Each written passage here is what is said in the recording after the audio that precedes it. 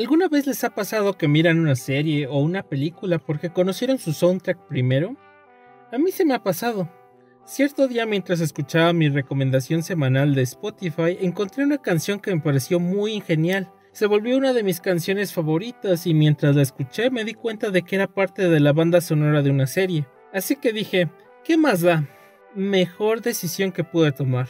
La maravillosa señora Maisel es una serie de televisión estadounidense de drama y comedia ambientada a finales de los años 50 y comienzo de los años 60, creada por Amy Sherman Paladino, creadora también de la serie Gilmore Girls y protagonizada por Rachel Brosnahan.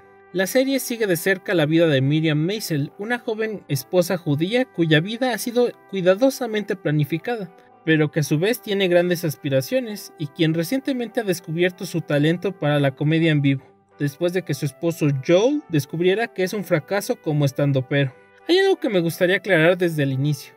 Esta es una serie con temática feminista presente, pero a diferencia de otros productos mediáticos con la misma temática y cuyas narrativas han fracasado estrepitosamente, este show tiene una característica que lo distingue de los demás, y es su punto más fuerte. Tiene los elementos de una estructura narrativa saludable, por así decirlo. Déjenme explicarlo. Comencemos con la presentación de nuestro personaje principal en la recepción de su boda. Miriam carece de un filtro a la hora de hablar, algo con lo que varios nos podemos identificar. Sus comentarios inapropiados y actitud de ¿por qué preocuparme? y me vale provoca el pánico entre los espectadores, tanto los que celebran su matrimonio con Joel como los que se sientan cautivos a escucharla en el Gaslight el primer bar donde realiza su stand-up.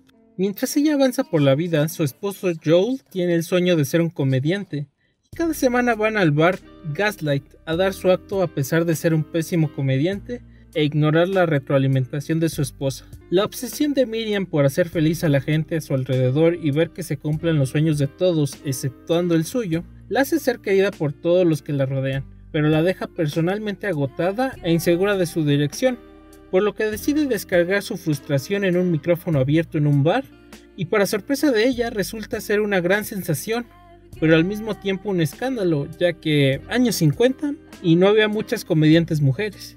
Finalmente afirma su presencia en el mundo artístico bajo el nombre artístico de señora Maisel, siendo esta una referencia irónica a su estatus anterior como ama de casa. De entrada tenemos un personaje principal fuerte, con rasgos positivos y negativos, con motivaciones y un conflicto presente.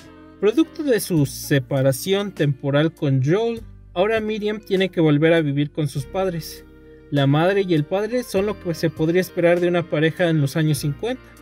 Padres dominantes clásicos conservadores. El papel de los padres es contribuir a la comedia a través de reacciones exageradas a expectativas insatisfechas la madre tratando de reafirmar los roles tradicionales de género, mientras el padre tratando de reafirmar los roles tradicionales de trabajo y esfuerzo, pensando menos en los que viven de otras formas. Miriam encuentra confort en su amiga Susie, la guardiana y gerente del Gaslight, quien al ver el potencial de ella como comediante, decide volverse su manager, convirtiéndose en un dúo muy interesante de ver. Por un lado, Miriam es una chica judía de clase alta, con muy poco conocimiento de las calles y la forma de hacer negocios, mientras Susie es una mujer en sus 30, quien vive al día y sabe darse respetar, pero que no es muy amigable con otras personas. Juntas emprenderán el viaje que convertirán de Miriam en toda una celebridad. En resumen, es una historia de superación y de empoderamiento femenino, cuya narrativa se encarga de entregar una historia concisa, coherente y atrapante, a la vez que mete comentarios sociales en la historia sin ser necesariamente los puntos que mueven a la misma. Eso es brillante.